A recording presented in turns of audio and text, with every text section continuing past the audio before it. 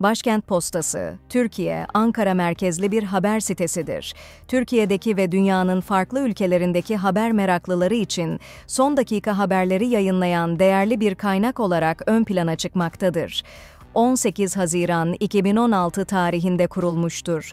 Bu tarih, sitenin online haber yayıncılığına başladığı andır ve o zamandan beri Türkiye'de güncel haberler ve bilgiler sunmaktadır.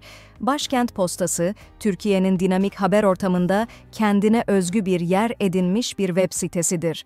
Haber sitesi olarak güncel olaylardan politik gelişmelere, ekonomiden kültür sanata kadar geniş bir yelpazede içerik sunmaktadır.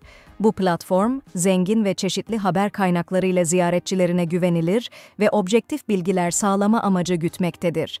Site, Türkiye'de güncel haberlerin nabzını tutan bir platform olarak öne çıkmakta ve günlük olarak binlerce ziyaretçiye ev sahipliği yapmaktadır. Başkent Postası sitesi kullanıcılarına politika, ekonomi, kültür, sanat, eğitim ve daha birçok alanda güncel ve önemli haberleri sunmaktadır.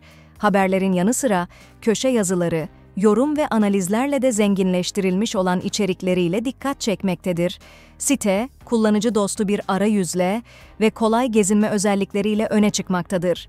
Ziyaretçiler, aradıkları haberlere site aracılığı ile kolayca ulaşabilir ve farklı kategorilerdeki güncel gelişmeleri takip edebilirler.